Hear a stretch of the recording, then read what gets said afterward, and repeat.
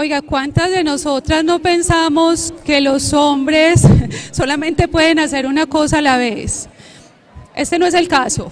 El señor Nelson Giraldo, de acá del municipio de Envigado, viene a desmentirnos ese pensamiento, ¿cierto? Claro. Cuéntenos por qué. ¿Qué hace usted? Me tiene impresionada. Buenos días, mi nombre es Nelson Giraldo Zuluaga, abogado, joyero, cuentero, guía turístico, observador de aves, observador de cielos nocturnos estrellados. Ese es mi cuento, sí. Y quisiera en este momento ofrecerle unas disculpas a Piedad Alzate. ¿Por qué? Cosas de tragos. Ah, bueno, eso ya son cosas ciertas Sí, que hay que solucionar. que hay que solucionar con mucha pena y, y con da- dando la cara, uno ofreciendo las disculpas así por un medio que nadie se dé cuenta. Bueno, me alegra mucho. El motivo pues como de seguir adelante. Las disculpas ya están dichas, pero me imagino obviamente que aquella persona lo va a entender.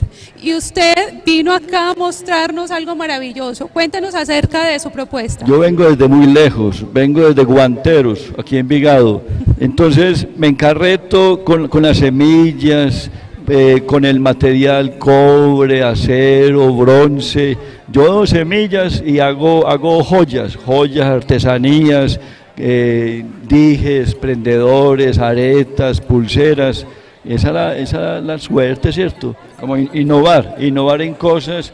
Te me gusta la observación de aves, entonces hago las aves en, en- en prendedores, en dijes, manillas. Eh, señor Nelson, ¿dónde lo podemos encontrar a usted? Me pueden localizar en el 320-64-35-677. Muchas gracias por hacer parte de esta feria, muchas gracias por estar acá y muy buena suerte con todas las cosas que se permita. Muchas gracias, muchas gracias.